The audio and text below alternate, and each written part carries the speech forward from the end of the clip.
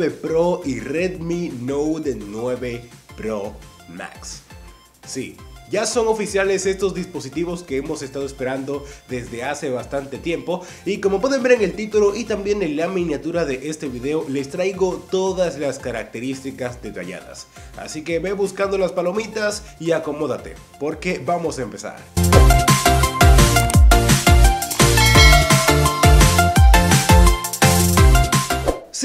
A un nuevo video de TCK Tech, mi nombre es Johan Martínez y como les dije en la intro de este video gente, los Redmi Note 9 Pro y Note 9 Pro Max, sí, están un poco largos los nombres de estos teléfonos, pero por fin ya son oficiales estos dos dispositivos. Y vamos a comenzar hablando sobre el ámbito del diseño, como pueden ver en pantalla, en la parte frontal los teléfonos cuentan con una pantalla mejor aprovechada en esta ocasión en comparación con las versiones anteriores, ya que estos tenían un notch tipo gota en la parte superior. Además, algo que ha llamado bastante la atención es la parte trasera, en donde encontramos un módulo de cámaras cuadrado que es muy semejante, como les había dicho en un video anterior, a lo que vimos en el Huawei Mate 20 y Mate 20 Pro. Aquí como pueden ver tenemos cuatro sensores y ya debajo encontramos el flash LED del teléfono. Cabe resaltar además que estos teléfonos son bien premium, ya que cuentan con cristal en la parte trasera y también cristal en la parte frontal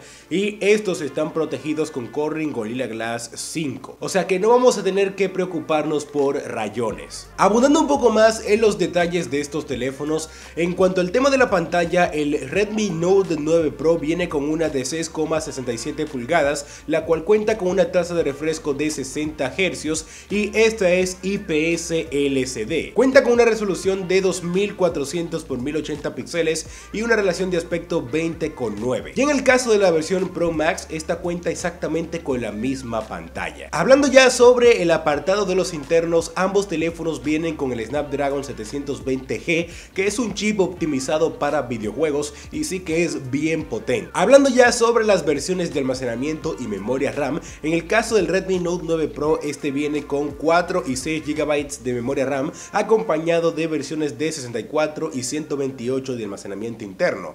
Y en el caso de la versión Pro Max, este viene con 6 y 8 GB de memoria RAM y versiones de almacenamiento de 64 y 128. O sea, las únicas diferencias que vamos a poder encontrar es que el Redmi Note 9 Pro Max viene con una versión de 8 de RAM. Ambos teléfonos vienen con una ranura micro SD para poder ampliar la memoria interna hasta los 512 GB. Y hablando ya sobre las cámaras, que es un punto bien importante, en el caso del Redmi Note 9 Pro, este viene con una cámara principal de 48 megapíxeles con apertura 1.9. También viene con un sensor wide angle de 8 megapíxeles, un sensor macro de 5 megapíxeles y por último un sensor para retrato de 2 megapíxeles.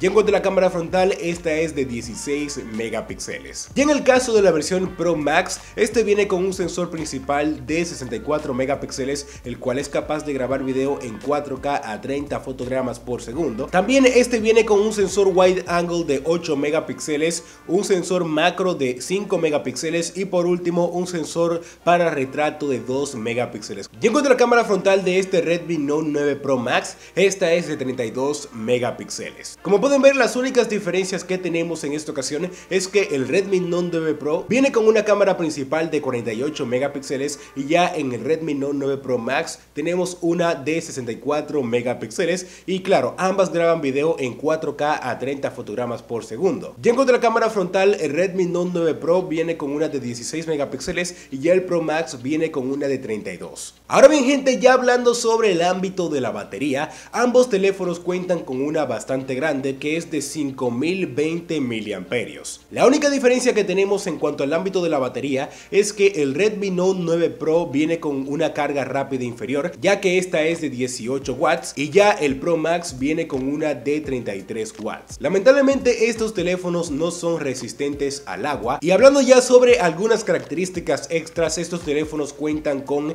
el jack de 3.5 milímetros para los auriculares, compatibilidad con Bluetooth 5.0, traen puerto USB tipo C y algo que esperábamos con muchas ansias que lamentablemente en esta ocasión no se pudo dar y es que esperábamos que estos teléfonos contarían con lector de huellas dactilares debajo de la pantalla, específicamente debajo de un panel LCD. Pero al parecer Xiaomi tiene esta tecnología ya para otro dispositivo. En esta ocasión estos dos teléfonos traen el lector de huellas dactilares en un lateral. Bueno gente, ya por último en cuanto al ámbito del precio, que es un punto bien importante, el Redmi Note 9 Pro va a llegar a un precio base de nada más y nada menos que de 175 dólares. Hablando específicamente de precios al cambio, pero ya cuando llegue a demás mercados, el precio va a tener distintas variaciones. Llega el caso del Redmi Note 9 Pro Max, este va a llegar a un precio de 202 dólares como base. Como pueden ver, estos dos teléfonos llegan al mercado a precios súper económicos como Xiaomi lo sabe hacer. Y bueno gente, estas son todas las características que ustedes deben de conocer sobre los nuevos Redmi Note 9 Series.